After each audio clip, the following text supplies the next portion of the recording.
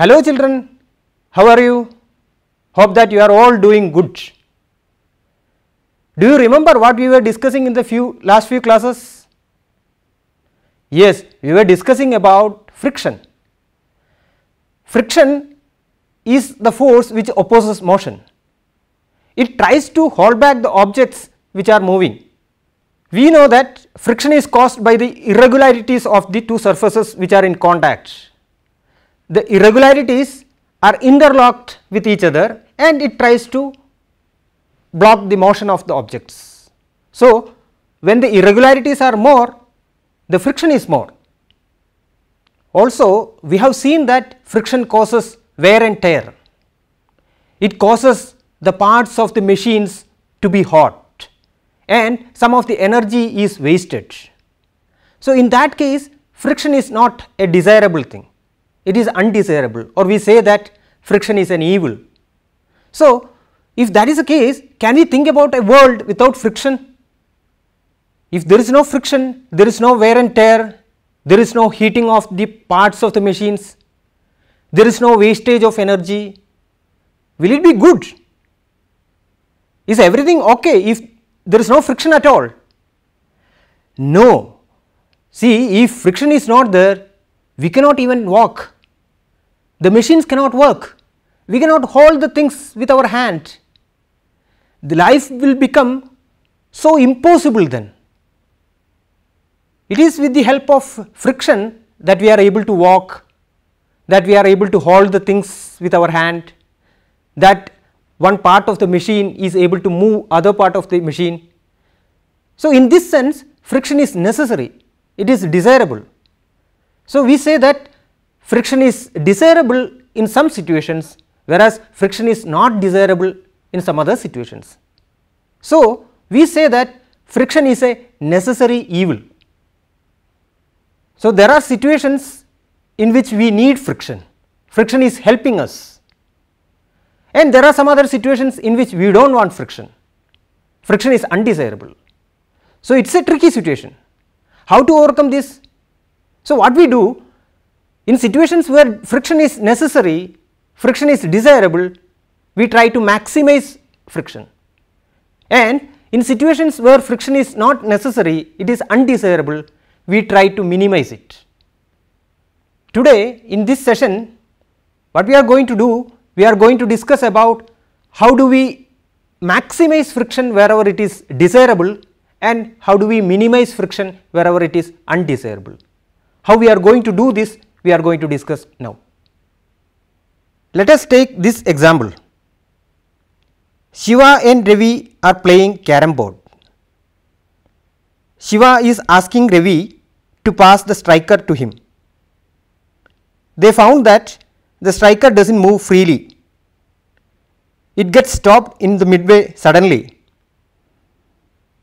Seeing this, Ravi puts some white powder on the carom board and the striker moves freely. You might have done this while playing carom board. Why the striker moves freely when the white powder is sprinkled on the surface of the carom board? What actually happens when we are putting this white powder on the surface? The striker does not move freely when the friction between the striker and the board is more. We know that the irregularities of the surfaces causes friction. So, the irregularities between the bottom surface of the coin and the top surface of the carom board, if it is more, there will be more friction and it causes the coin not to move freely. As we sprinkle the carom powder, the carom powder fills the irregularities of the surface and it helps the coin to move freely then. So, we have seen one situation in which friction is not desirable and how do we overcome this? I have some questions to you. After sprinkling the carom powder on the surface and if you start playing, after some time what happens and what we have to do then? That is my first question, try to find answer for this. the next question is that can we reduce the friction to 0? Is it possible? So, try to find answer to these questions. All of you might be familiar with tailoring machine at least you might have seen at least one time. Sometimes it becomes difficult to work with the tailoring machine. It does not move freely when we are pedaling it. Then what do we do? You might have seen that people apply oil at some parts of the tailoring machine. And we have seen that after applying this oil, the machine works so smoothly. Did you see the rope and pulley arrangement for fetching water from the well? Villagers use this. Sometimes it becomes hard to rotate the pulley and the pulley makes some sound. What do we do then? Yes, you might have seen that villagers they apply some oil to the pulley. After putting the oil to the pulley, the sound stops, pulley moves freely. So, in these situations after applying oil to the tailoring machine and in this case of pulley, it works smoothly. What actually happens when we are putting oil? What are we actually doing here? We know that it becomes difficult to move the objects when there is more friction. If we want to move the objects, we have to overcome the friction or we have to reduce the friction. So, here we apply oil to reduce the friction. So, the oil fills the irregularities and it becomes a layer, it forms a layer on the surface of the two surfaces which are moving. We know that it becomes difficult to move the objects when there is more friction. So, for the free movement we have to reduce the friction somehow. So, in these situations which we discussed just now we are using oil. So, the oil fills the irregularities of the surfaces and it forms a layer in between and thereby the friction is greatly reduced. So, we use some substances which forms a layer and reduces friction and these substances are known as lubricants. So, this is another way of reducing friction by the use of lubricants. So, we discussed one lubricant that is oil. There are different types of lubricants. So, I suggest you to find out the different names of the lubricants that are used in different places. Also try to find out is there any other type of lubricants other than liquids. So, we have discussed about the lubricant and in this case oil acts as a lubricant. I suggest you to make a list of lubricants that are used in different places. Also I suggest you to find out a lubricant's name which is not in the form of liquid. Okay?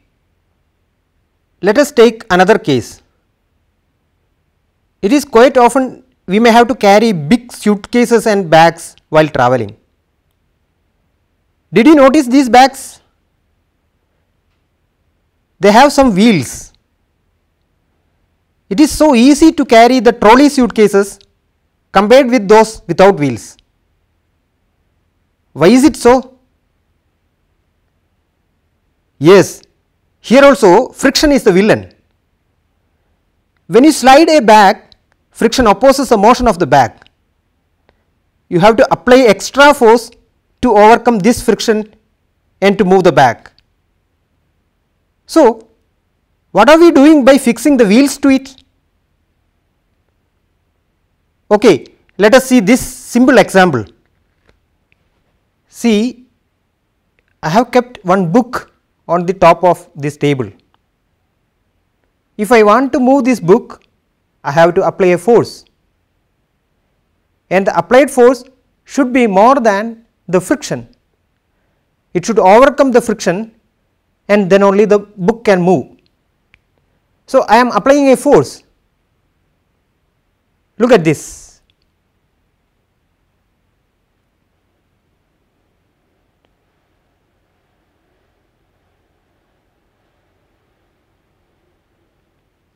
As I apply a force, the book moves on the table. Now, I keep few pens on the top of this table like this. So, I kept few pens on the top of the table and I take this book and I am keeping this book on the top of these pens like this. Now, if I want to move this book, it is much easier.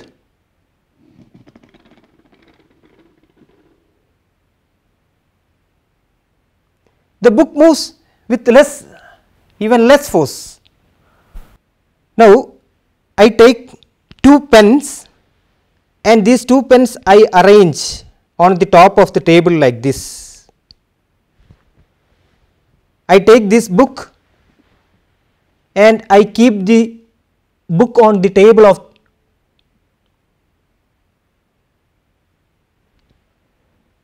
So, now if I apply a force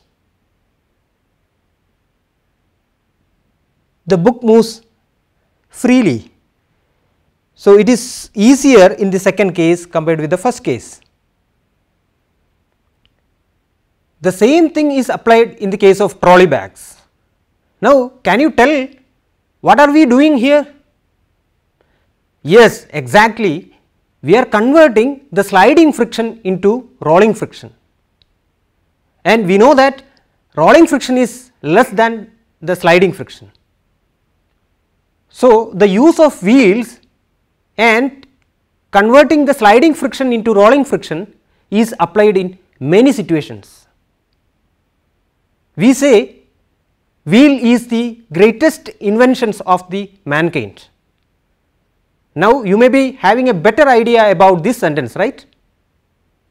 Have you seen people moving heavy objects by keeping the heavy object on the top of some pipes? So, there are several situations in which the sliding friction is converted into rolling friction. Some of the situations we discussed here, I suggest you to observe around you and make a list of situations in which the sliding friction is converted into rolling friction and thereby we do the things easily. Okay? Have you ever visited a cycle repair shop? Have you seen some small spherical objects kept between the parts of a machine and these spherical objects help in movement of these parts. What are these spherical objects? These are known as ball bearings. So, the ball bearings help in rotation of the objects. These are known as ball bearings and these ball bearings convert the sliding friction into rolling friction and reduce the friction. So, we have seen one more situation in which friction is not desirable and how do we overcome this. Now, let us discuss some cases where friction is desirable and how do we maximize friction. Let us take an example. We are all familiar that walking on a smooth wet floor is difficult. If we do not take care, we may even fall down. You might have seen the caution boards kept when the floor is wet after cleaning. We are unable to walk freely or even we may fall down because of the lack of sufficient friction. If you look at the sole of your shoe or sandal, you can see that it is grooved. These grooves are made for increasing the friction so that we can walk safely. If you look at the running spikes used by athletes, you can see sharp spikes at the sole. These spikes are fitted there to give sufficient friction while running. Children, have you seen the running spikes used by the athletes? Did you notice the sole of the running spikes? Here there is a running spike. If you look at the sole, you can see sharp spikes fitted to the sole. See these sharp spikes help for getting better friction. So, while running it gives a better grip. Did you see such grooves somewhere else? Yes, the tires are treaded to increase the friction. What happens after the prolonged use of these tires? What do we do then? Try to find out, okay? Have you ever played kabaddi? Oh, it is an interesting and thrilling game, right? When a rider from the opposite team comes to our side, we rub our hands with soil. Why do we do this? Rubbing hands with soil increases the friction and we can catch the rider easily. Otherwise, the rider may slip out of the hands. Did you see gymnasts performing? They apply some coarse substance on their hands to increase friction for better grip. What happens to the bicycle's brake part after long use? Its surface becomes more even and less friction will be there between the brake part and the cycle tire. Then it becomes difficult to stop the bicycle. What do we do then? We change the brake part with a new one. Did you see the surface of a new brake pad?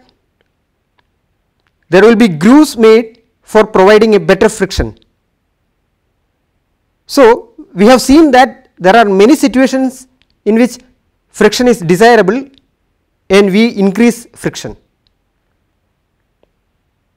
So, we have discussed in today's session the situations in which friction is desirable and how do we maximize friction, how do we increase friction. And we have discussed situations in which friction is not desirable, undesirable and how do we reduce the friction. I suggest you to observe your surroundings carefully and add examples to the list of situations in which friction is desirable and the situations in which friction is not desirable. Also try to find out in these situations how do we increase or decrease friction. So, I stop here thank you all